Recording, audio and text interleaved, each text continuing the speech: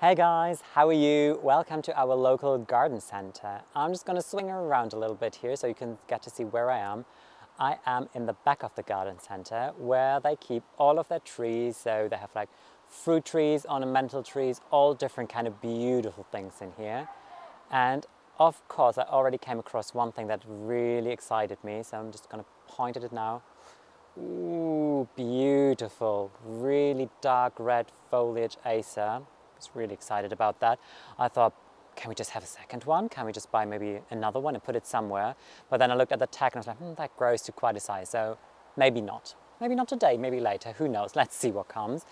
Anyways, today's video is not about planting a tree. Today's video is about planting up all of my pots, or most of my pots.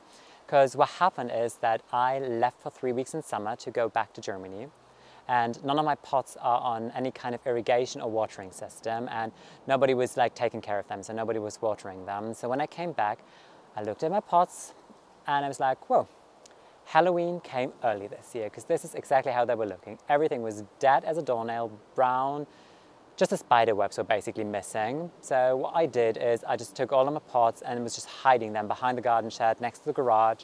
So they were a little bit like out of sight, out of mind.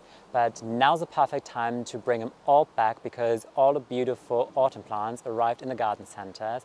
And I'm thrilled and really excited to do this little potting video with you because this is always so much fun because potting I think is almost like a little staging.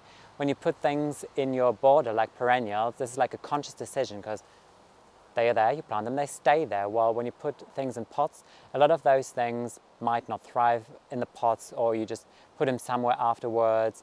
Or like some of the things like mums or heather, for example, they would just fade out for me at least after the winter season. So it's like a little fun thing to do. And even I haven't checked what the garden center has in the front, so I just ran to the back here to do this like, hi guys, welcome you video for you. So I'm really excited to see what I'm going to find. I keep my fingers crossed that there's some like nice things and nice colors. I know a lot of you, when you think about like autumn and autumn potting, you go for all of these like warm, spicy tones. And I think it's really beautiful to have like orange pumpkins and all of that. But since my garden is really focusing more on different colors like purple, pinks, whites, even reds. I got a lot of red going on and like dark red foliage. So I want to keep the pots also color coordinated so they really fit and make sense with the garden. So I'm really hoping that I find all of those beautiful colors that I have in the garden now for mums and all different kind of plums. So let's see, let's go to the front and see what they have. This is what I came up with. I just went to the back of the garden center with my little shopping cart because there's still some customers at the front and I don't want to like disturb them or interrupt their business going on here. So I found a quiet corner here located between the fruit trees where I think I just have a moment just to quickly show you what I picked and how beautiful everything is looking. So I think already on the first glance you can see that color-wise it all matches really well and it's definitely on brand for me in terms of my garden style and everything because I really love all of these like violets, purple, pinks and this is exactly what you see here in the shopping cart. So the first thing I'm going to show you, this is an aster and it's a good example of how things are labeled when I go shopping here. Not everything is like that, try to get it out of the shopping cart, but often things come with a quite random label. And it says, I try to say it now properly in Polish, kwiaty rabatowe. And what it means basically is just like flower for a border planting. So that's the entire information about this aster. So I have no idea about variety or anything, but what I know, and what I can see is that the foliage looking good, there's no mildew, it's completely green all the way down to the base. The flowers are looking really pretty already when you look at the first ones that just open and it's still full of buds, which is always good because then I know like it's going to look pretty for the next few couple of weeks to come. The next thing, I have some heather here and that is a beautiful color for a heather, I think. Really lovely, lovely big flowers. And as you can tell already, in the back you see the red uh. So this is a beautiful combination. So I ended up picking three red hat because I think they're just beautiful, like this lovely airy texture that they bring to the entire thing. Gonna look great in pots, but they are definitely not hardy here, at least on a Baltic season, on Baltic winter, I mean. Um, yeah, they just won't make it. So they're just like a little fun plant only for, for this project. Then the last thing I have in here are two Heuchera, so they're definitely going to make it. They're also thriving in pots. And if you look at it closer, like the variegation that's going on on the leaves, is really glorious. And again, this is a really pretty combination all together. All these pinks of like red, pink, light pink blush, so beautiful together. So if I go like one layer down, I got a couple more things waiting here. So the first thing is an ornamental kale, which has just like a little flush of purple, violet red going on in the center. And then I found these tiny things here. They are, again, not really labeled properly. I think they just said like, yep, here we go, Kwiaty rabatowe. So again, who knows what it is? I mean, you probably know what it is. I've seen the garden centers before and it has a really interesting, intriguing texture when you look at it. And I think what it does, it brings like a lovely texture to the entire planting and also the color is very beautiful because it lightens everything up. And the last thing I'm having in my shopping cart are mums. So I'm going to take four mums in this pinkish tone and as you can tell again they're full and full of buds so this is really what you want to go for so let's head back home and start the project Hey, I'm back from the garden center. I'm in my garden now, but it is a new day. Actually, it's two days later. Because what happened when I returned from the garden center, the weather was having quite a dip. So a strong wind kicked in that was coming from the Baltic Sea. It was really frosty and cold. And we had a light drizzle, so I was just really not having it. And I thought, no, this is not a good day for any kind of gardening. So it's two days later. It is still overcast, but it's no windy, so you can tell here.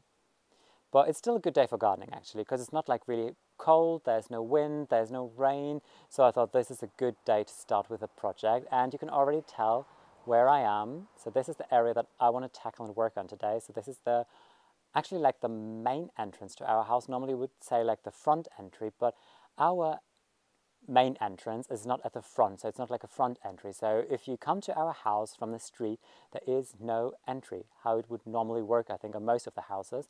So you need to go actually to the back of the house and really into the garden almost to get to the front entry, which I kind of like, to be honest, because people get to see the garden or first idea and a first glance of the garden. So anyways, what I plan on doing now is that I want to flip the phone and just show you basically how the pots are looking that I want to work on today. They're standing to my left, they're not looking good. And maybe just a quick view on the things that I bought, because I bought two more things, which were really like a last minute kind of purchase that I did in the garden center. And then it's really time just to clean up that space here, because it's not looking so great, but I'm just going to make that a little quicker on the video then. So hope you enjoy it. So here you go. This is the front entrance to our house.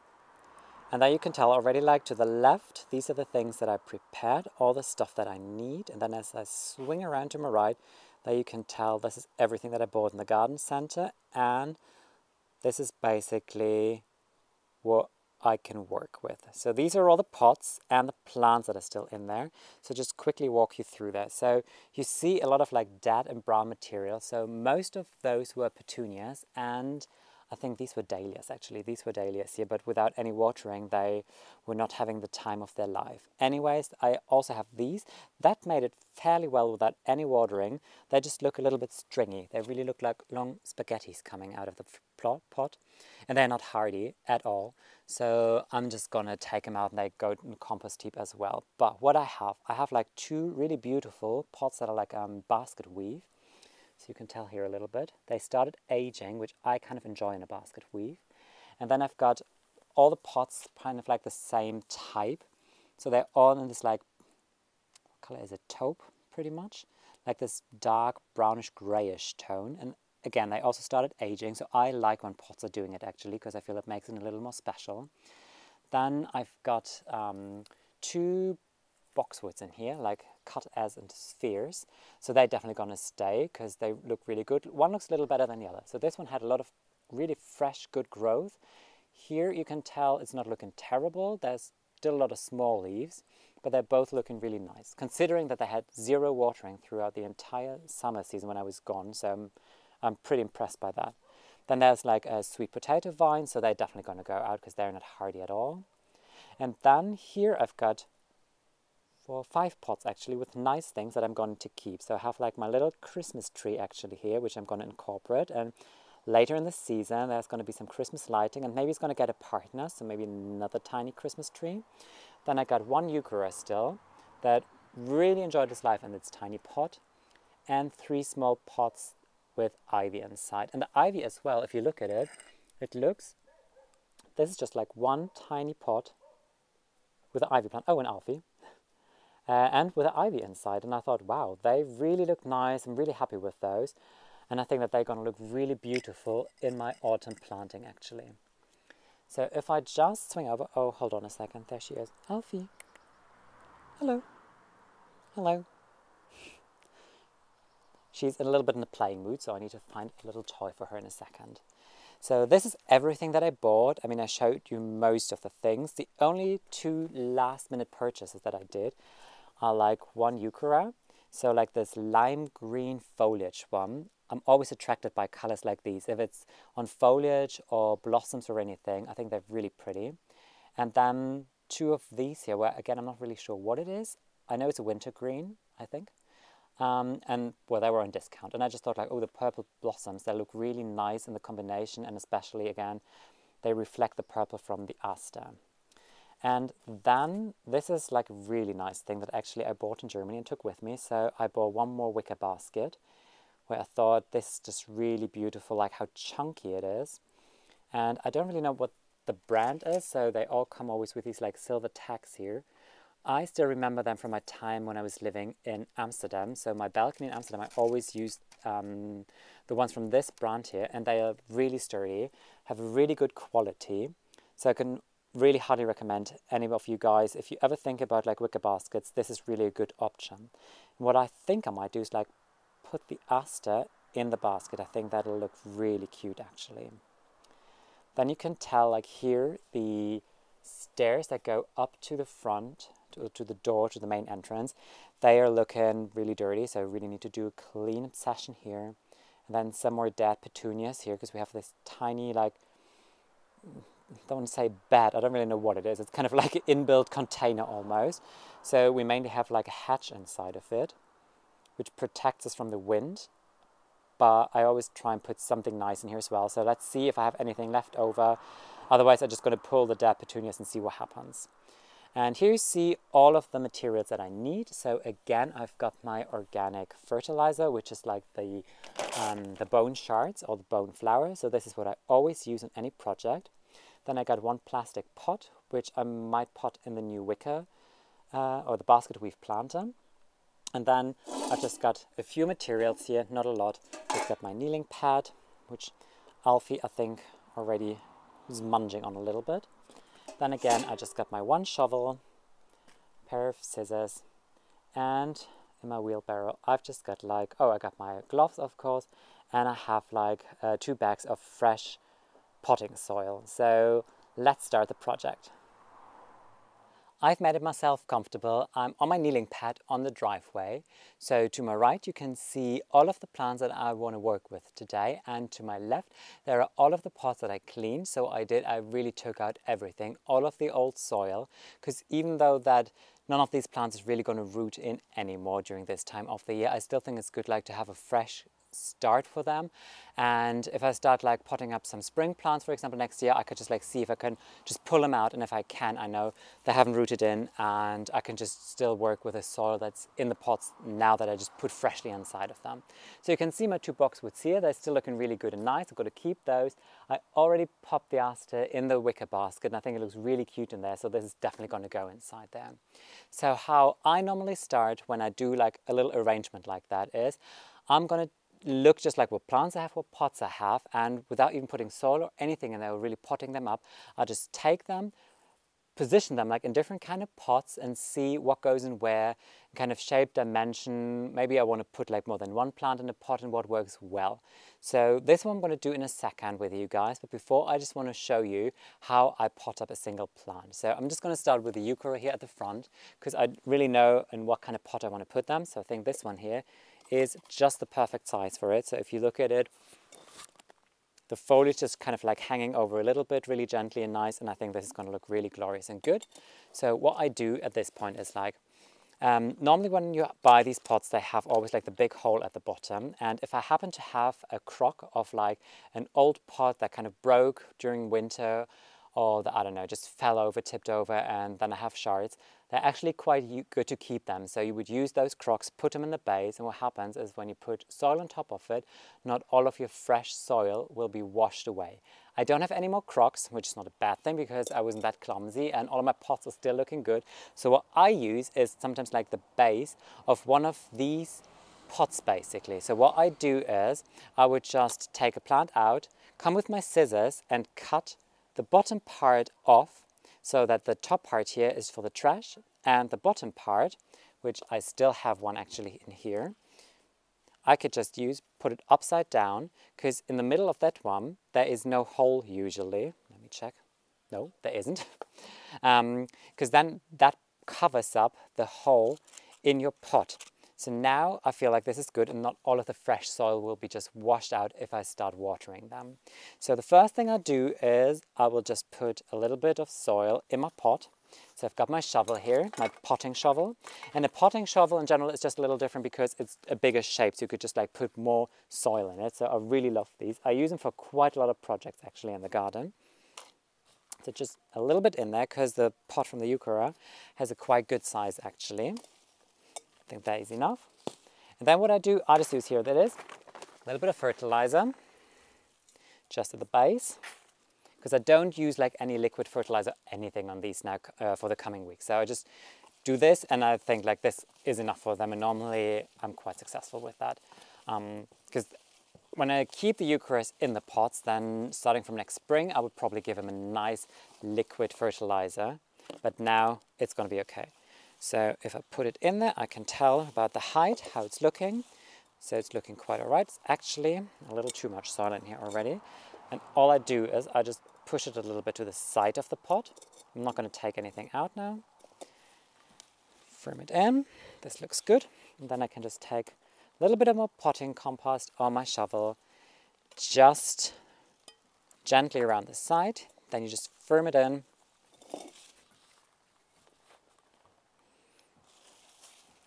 from all sides.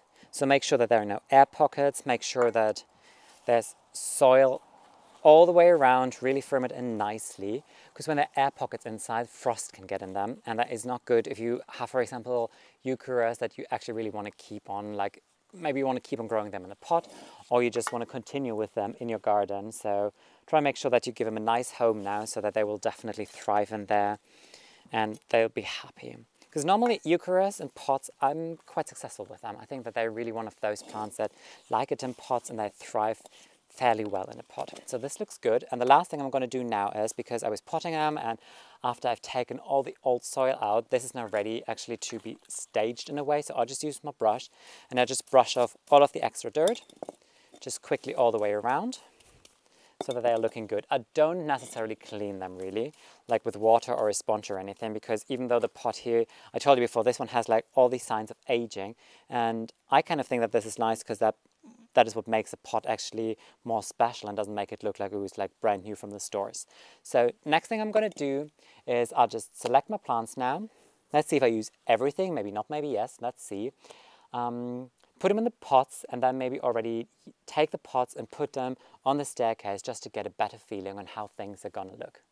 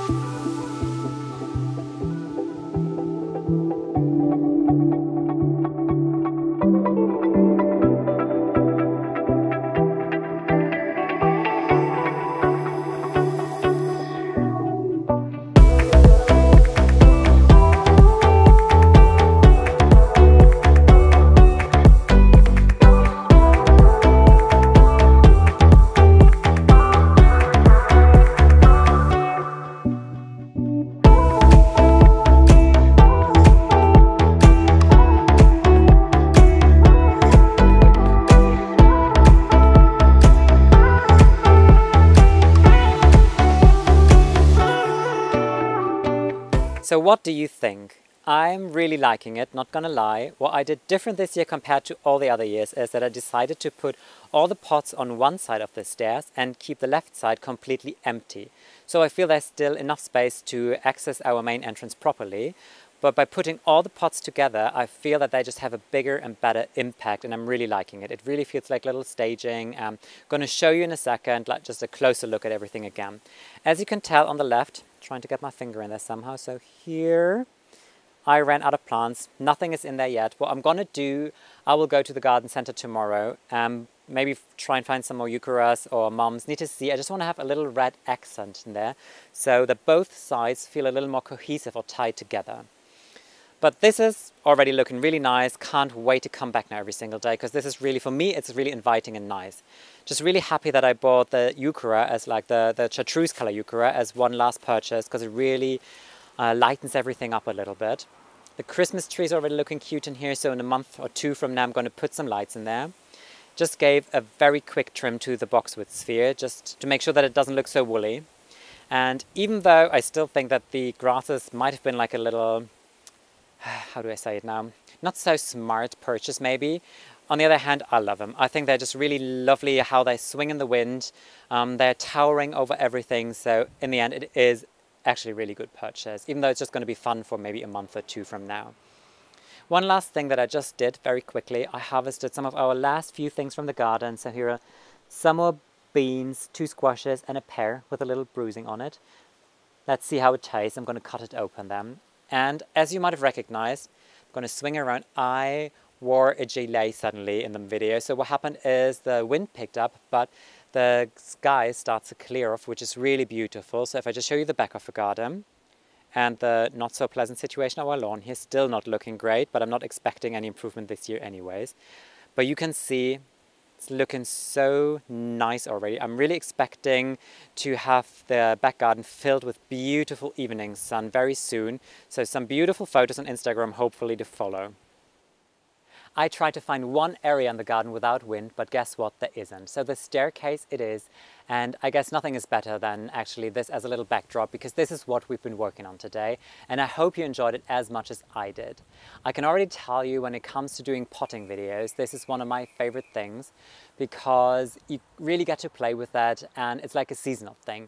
It's one thing where you know you do it for one season and the next year you can do something completely different and it's always like a fun thing. It always keeps you on your toes. You can always play with your creativity.